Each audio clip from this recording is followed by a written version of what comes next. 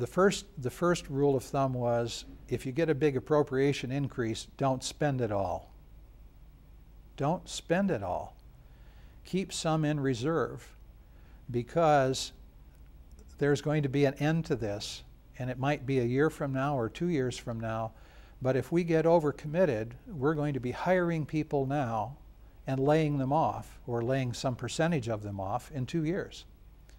And what that does is create an angst among faculty and staff about stability. And so we thought that we need to redirect this institution by being sure that we have financial stability.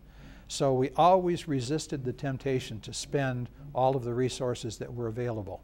We created reserves and we were very, very careful.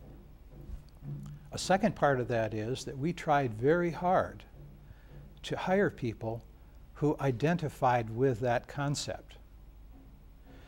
In the administrative groups that I managed, for example, by the way, many of whom are still here, outstanding people, came to the institution because they, they liked the challenge, they liked the idea of having to think smart, be very smart about how operations are managed, be very cautious about adding resources, wearing many hats.